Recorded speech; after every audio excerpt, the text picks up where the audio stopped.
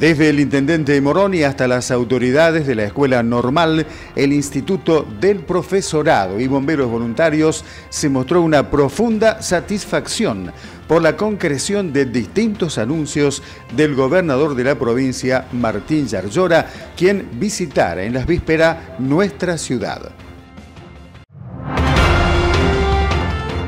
La Comunidad Regional Unión administrará la obra de reparación de la escuela normal, en tanto que los responsables técnicos de los trabajos calcularon que en 30 o 40 días quedará finalizado el edificio del Instituto Superior del Profesorado Mariano Moreno y aspiran que el ciclo 2024 se desarrolle allí.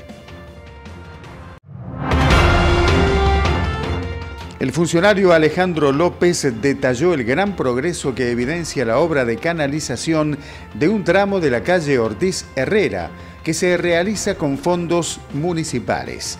Dicho canal se extiende desde la rotonda Atilio Sarini y por la calle San Jerónimo llegará hasta Camino a Morrison.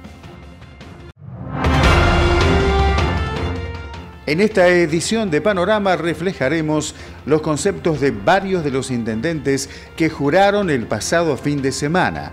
Enrique Méndez Paz inició su segundo ciclo en Sintra, mientras que debutan como jefes municipales Graciela Sánchez de Ballesteros, Gustavo Isoardi en Monteleña y César Morena, que sucede a su padre Domingo en Chilibroste.